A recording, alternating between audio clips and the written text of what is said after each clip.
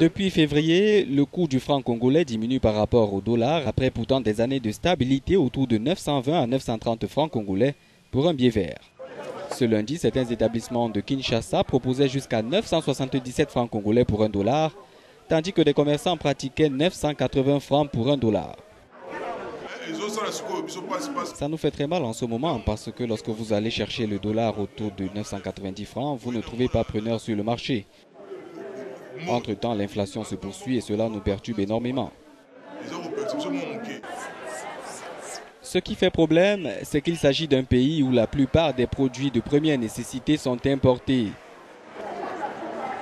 Conséquence, les variations de change entraînent une augmentation des prix à la consommation et viennent ainsi ajouter aux difficultés d'une population vivant largement dans la pauvreté.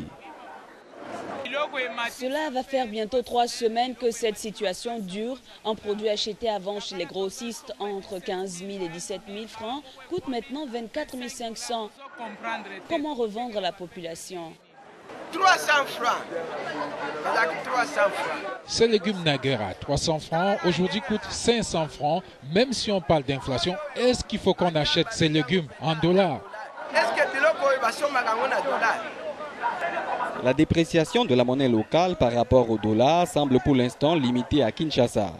À titre illustratif, à Lubumbashi ou à Goma, les changeurs continuent de pratiquer un taux aux alentours de 920 francs congolais pour un dollar.